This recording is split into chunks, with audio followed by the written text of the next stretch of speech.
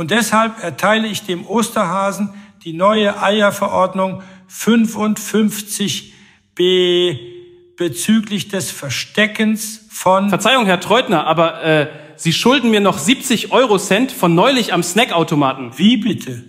Aber das... Wo? Wann soll das... Jetzt tun Sie doch nicht so, Herr Treutner. Sie wissen ganz genau, wovon ich rede. Wir beide standen am Snackautomaten neben der Herrentoilette im dritten Obergeschoss. Ja, und da meinten Sie zu mir, ich habe gerade Bock auf eine Milchschnitte, aber mir fehlen noch 70 Euro Cent. Ob ich Ihnen was auslegen könnte? Milchschnitte?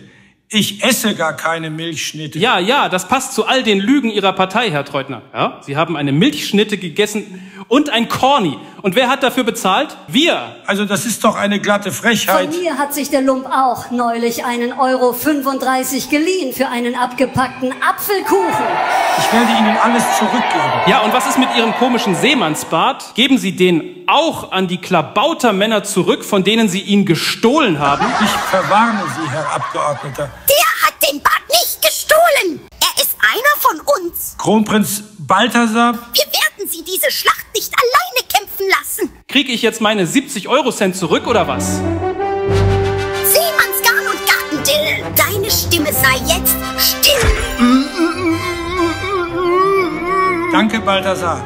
Lang leben die ehrenvollen Klabautermänner der Nord-Süd-Regionen Ostdeutschlands. Hat hier jemand mal 30 bis 90 Euro Cent für eine Milchschnitte? Ich hab mir die Willi bestellt. Die neue Willi. Spiel, Spaß und Schwurbel. Snickers for Linkshänder.